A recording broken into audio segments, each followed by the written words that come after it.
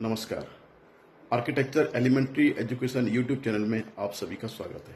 मैं हूँ doctor Arun Pal lecture in architecture engineering department government भवन पॉलिटेक्निक कॉलेज जोधपुर राजस्थान आज हम लोग बात करेंगे advantage and disadvantage of a apartment हम लोग अपार्टमेंट सोमली सिटी में बहुत कॉमन से यूज़ करते हैं। कई बार इसको अपार्टमेंट है फ्लैट है अलग अलग नामों से जानते हैं। बट आर्किटेक्चरली इसका करेक्ट नाम ग्रुप हाउसिंग है। आर्किटेक्चर में इसको ग्रुप हाउसिंग के नाम से ही जाना जाता है। नॉर्मली ग्रुप हाउसिंग मीन्स बहुत से ग्रुप में लोग एक साथ रहते हैं इसलिए उसका नाम ग्रुप हाउसिंग रखा गया है।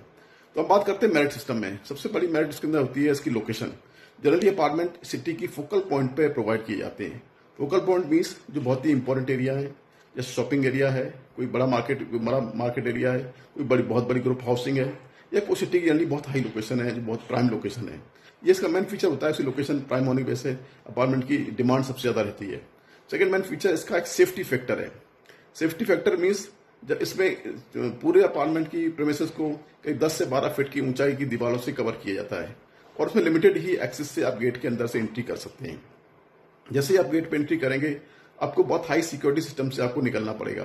फ़र्स्ट ऑफ़ ऑल आपको बिना वेरिफिकेशन के आप किसी भी फ्लैट के अंदर नहीं जा सकते। वेरिफिकेशन आपका एडवांस सिक्योरिटी सिस्टम में स्कैनर सिस्टम होते हैं। गार्ड सिस्टम होते हैं मैनुअली हैं नॉन मैनुअली हैं। बहुत सारे सिक्योरिटी मतलब बिना वेरिफिकेशन के आप किसी भी गेट के अंदर, किसी भी फ्लैट की सोसाइटी के अंदर आप एंट्री नहीं कर सकते। ये उसका एक मुख्य फीचर है। नेक्स्ट फीचर इसका एक पार्किंग का है। पार्किंग में सभी जितने भी रहने वाले रहने वाले हैं प्लस इसमें उन सभी को पार्किंग प्रोवाइड की जाती है।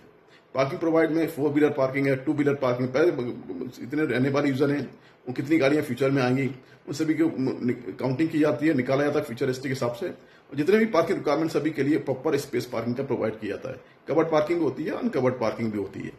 नेक्स्ट फीचर इसका है सिटी व्यू जनरली फ्लैट की लोकेशन बहुत ज़्यादा हाई होती है। हाई होने की वजह से सिटी का व्यू जनरली बहुत ही अच्छा दिखता है। जनरली सिटी जितना भी होता है सिटी का व्यू है, कोई शॉपिंग एरिया का व्यू है, कोई फ्लैट का व्यू है, कोई हिल का व्यू है फ्लैट्स का है लाइन का है लेक है, कोई लेके अलग अलग वेरायटी के व्यू उसमें विजिबल होते हैं। तो उसकी अट्रैक्शन में लोग इसकी व्यू सिटी व्यू को अट्रैक्ट करने के लिए भी अपार्टमेंट बनाए जाते हैं। अपार्टमेंट लोग रहने के लिए लोग प्रेफर करते हैं कि हमारा सिटी व्यू कितना अच्छा है surrounding area natural surrounding area कितनी ज़्यादा अच्छी है। ये भी इसका मेन फीचर होता है। और उसका और फीचर है इसके अंदर एक सर्विसेज़ के बारे में। जनरली जैसे फायर फाइटिंग के बहुत सारे इक्विपमेंट हैं। सिक्योरिटी बहुत सारे बहुत सारे इक्विपमेंट हैं। वाटर सप्लाई का फीचर है।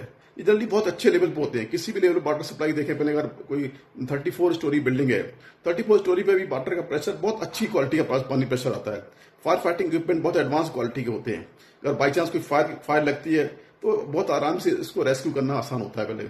लिफ्ट क्वालिटी बहुत अच्छी होती है। वर्टिकल सर्कुलेशन अच्छे होते हैं। हॉरिजॉन्टल सर्कुलेशन अच्छे होते हैं। बहुत सारे फीचर्स होते हैं जिससे लोग इस तरफ़ अट्रैक्ट होते हैं। मेरिट के साथ में बहुत सारे इसके अंदर डीमेरिट सिस्टम भी अपार्टमेंट साथ जुड़े हुए हैं। सबसे बड़ा डीमेरिट सिस्टम है इसके अंदर इसी कॉस्ट एंड मेंटेनेंस बहुत ज़्यादा हाई टोनिंग बेसिस से मेंटेनेंस बहुत ज़्यादा हाई हो जाता है पहले। हाई कैसे हो जाता है जब अगर आप पूरी बिल्डिंग को व्हाइट वॉश करना है पेंट करना है तो पेंट करना इतनी हाई स्टोरी बिल्डिंग को काफ़ी एडवांस सिस्टम होता है। कोई वाटर सप्लाई लाइन चौक हो जाए, उसके से वाटर सप्लाई चौक लाइन करना एक सम्मान तरीके से वाटर सप्लाई को हम ठीक नहीं कर सकते पहले। कोई इक्विपमेंट जैसे लिफ्ट खराब हो जाती है। लिफ्ट खराब में भी इतना नॉर्मली ये नॉर्मल लिफ्ट नहीं होती है। स्पेशल क्वालिटी लिफ्ट होती है। बहुत ऊंचाई तक जाती है। हाई स्पीड लिफ्ट भी यूज़ कई बार यूज़ करते हैं। कैप्सूल लिफ्ट यूज़ करते हैं। इनका मेंटेनेंस काफ़ी ज़्यादा हाई होता है। तो ये से दिक्कत रहती है। लेकिन अब बाई चांस कोई स्पेशल क्लाइमेटीज आ जाए, जैसे भूकंप आ जाए, कोई लगे, कोई आग लग जाए बिल्डिंग में लगे, इस केस में जब निकलने के लिए काफ़ी दिक्कत होती है। काफ़ी बड़े बड़े स्केल में कैजुअलिटी होती है।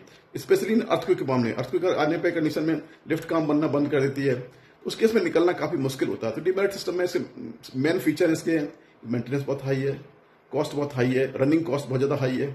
इसके basic community system like pool है जिम है, बहुत सारे सिस्टम इसके अंदर डेवलप होते हैं। उनका भी मेंटेनेंस बहुत ज़्यादा रहता है। अल्टीमेटली सही मेंटेनेंस सिस्टम जो वहाँ के यूज़र है, उन्हीं को पे करना पड़ता है। तो कॉस्ट फैक्टर एक बहुत बड़ा फैक्टर है। इसलिए अपार्टमेंट की कॉस्ट बहुत ज़्यादा होती है रनिंग कॉस्ट भी बहुत ज़्यादा होती है मेंटेनेंस कॉस्ट भी बहुत ज़्यादा होती है। तो जनरली सामान्य पर्सन में रहना संभव नहीं है, जो तो थोड़ा हाई इनकम रेट पर्सन है, उनको वो ज़्यादातर इसमें रहना प्रेफर करते हैं। तो बेसिकली अलग अलग सिस्टम है, जो आपको सिस्टम अच्छा लगे, उस हिसाब से मेरिट सिस्टम आप वो यूज़ कर सकते हैं। वीडियो आपको अच्छा लगे तो आप लाइक करें लाइक करें, उसे सब्सक्राइब करें। Thank you